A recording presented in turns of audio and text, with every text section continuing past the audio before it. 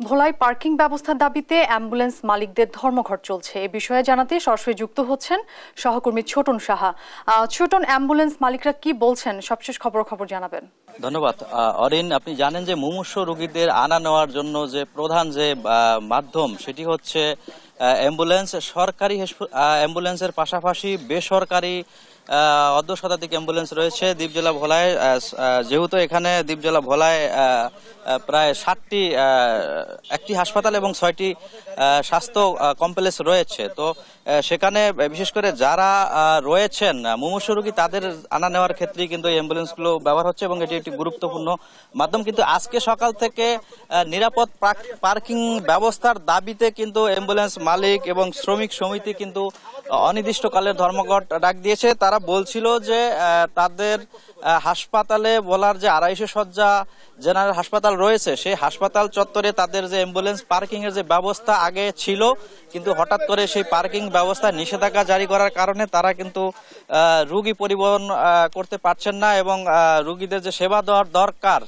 এক স্থান থেকে অন্য স্থান নেওয়ার ক্ষেত্রে, তো সেটি কিন্তু তারা পারছেন না। তো এ কারণে তারা বেশ কয়েকবার কিন্তু বৈঠকও বসেছেন হাসপাতাল কর্তৃপক্ষ এবং সিভিল সার্জন সাথে কিন্তু কোনো বিষয়টির কোনো সমাধান হয়নি। যে কারণে তারা আজকে কিন্তু ধর্মঘটের ডাক দিতে বাধ্য হয়েছেন। তো আমরা অ্যাম্বুলেন্স মালিক সমিতির সভাপতির সাথে একটু কথা বলব, তার কাছে জানতে চাইব আজকে কেন আপনারা ধর্মঘটের ডাক দিলেন। রোগীরা তো ভোগান্তিতে পড়েছে। সেই বিষয়টি বিবেচনা করার পরও ধর্মঘট কেন আজকে ডাক দেওয়া হলো?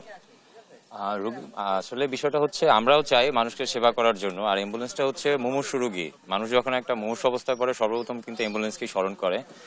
তো আমরা চাইনি, এটা অনাকাঙ্ক্ষিতভাবে আমাদের ধর্মঘটের ডাক দেওয়া তো আমাদের হচ্ছে হাসপাতালের যে হসপিটালের সাথে আমরা জড়িত ওতপ্রোতভাবে হসপিটালের ওখানে আমাদের গাড়ির পার্কিং এর ব্যবস্থা করার প্রয়োজন ছিল।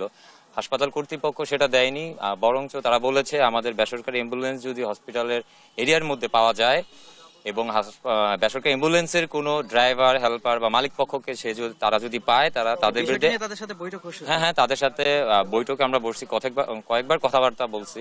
বাট তারা কোনো ভালো সলিউশন দেয় না আমাদেরকে। আশ্বস্ত করতে পারে নাই যে আপনাদের নিরাপত্তা আমরা দেব।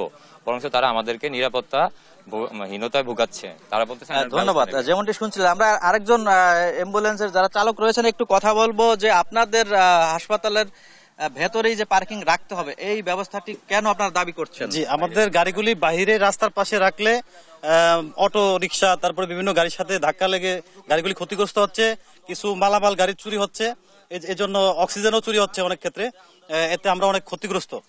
ভিতরে, হাসপাতালের ভিতরে দীর্ঘ পনেরো বছর গাড়ি রাখতে পারছে, এখন কেন পারব না, আর জায়গা আছে এখনও, সে পার্কিং এর ব্যবস্থা আছে। আমাদের দাবি হলো যে আমাদের গাড়িগুলো যাতে ভিতরে রাখতে দেয়।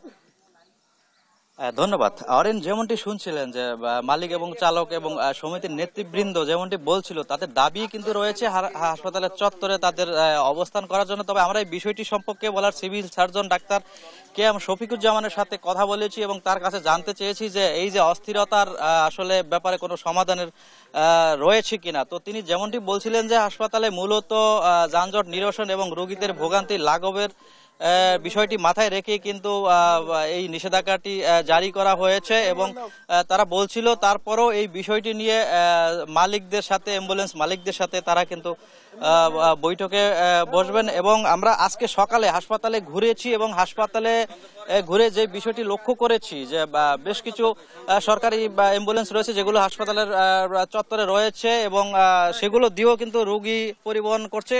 তবে সেটা খুবই স্বল্প সংখ্যক। কিন্তু বেশিরভাগ রোগীরাই কিন্তু আজকে বিশেষ করে মুমূর্ষু রোগীরা কিন্তু আজকে পরিবহন করতে পারছেন না এবং তারা চরমভাবে ভোগান্তিতে পড়ছেন এবং মালিক সমিতি যেমনটি বলছিল যে, এই বিষয়টির সুষ্ঠু সমাধান না হওয়া পর্যন্ত তাদের যে ধর্মঘট, সেই ধর্মঘটটি কিন্তু তারা চালিয়ে যাবেন। এই বিষয়টি কিন্তু আমাদেরকে বলছিলেন। তো এ ছিল আমার আমার কাছে বলাতে যে প্রাইভেট অ্যাম্বুলেন্স মালিক সমিতিতে যে অনির্দিষ্টকালে ধর্মঘট চলছে, তা নিয়ে সর্বশেষ তথ্য ফিরে যাচ্ছি স্টুডিওতে অরিনের কাছে। অরিন।